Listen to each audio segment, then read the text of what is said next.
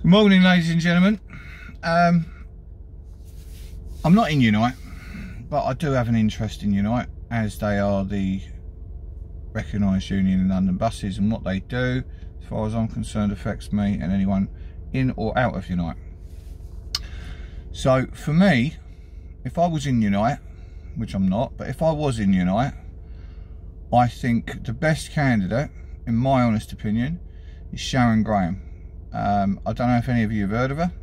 If you haven't, look on my Facebook page. I have put a link up for her thing. Now I need you to look at her manifesto. Her manifesto is fantastic.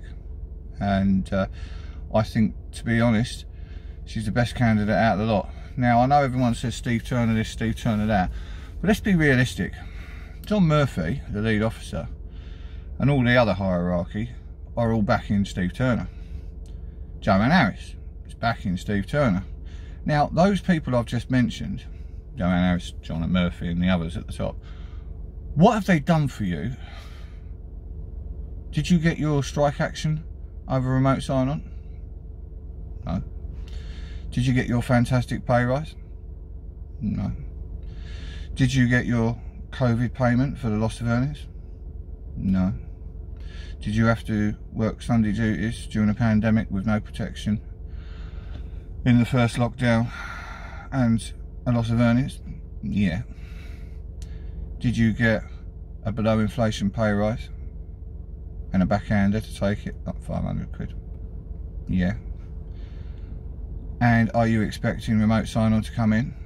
You want to be because it is going to come. Because I'm telling you now, on the 31st of December 2022, whatever decision they come back with doesn't matter because two weeks or three weeks later, half of London bus routes are up for tender. And with operators already for new drivers putting remote sign-on into the contract. And new gadgets like the ones at RATP for doing first use checks and that in buses. And sign-on sign-off capabilities already in apps, you can bet your bottom dollar most of those routes will be remote sign-on.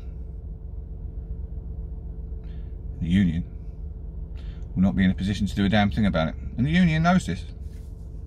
Anyway, it doesn't matter. So that's what they've done for you.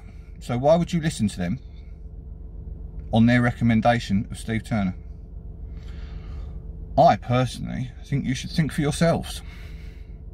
Have a look at Sharon Graham.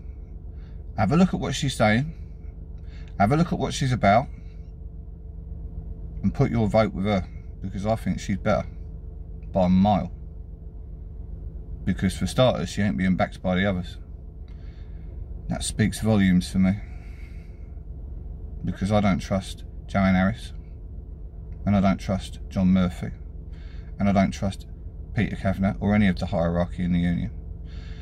So when they tell me this is the best person for the job, I look at the other person because I don't believe them. That's what you should do as drivers. So Sharon Graham has definitely got a good manifesto and I think she's definitely the woman to lead this union and for a union that's full of stuffy haired grey old men from the 1970s and 60s and 80s she would be a breath of fresh air she would mean change and what have you always wanted? Change. So why don't you lot, when you get your ballot papers, instead of listening to the donkey in the office that's been told by the donkey at the top, John Murphy, to vote Steve Turner, why don't you vote with your brain? Why don't you look at her manifesto? And why don't you decide for yourselves whether or not to vote for someone who you want to vote for, not who you've been told to vote for? You have a brain. Use it. Thank you, ladies and gentlemen. I hope this gives you some sort of idea and help in which direction to go in the vote for General Secretary. Um, and if you do like her manifesto, make sure you fill out that ballot paper and return it because the other person gets in, it's probably going to be much of the same, if not more. Right, have a good day, people.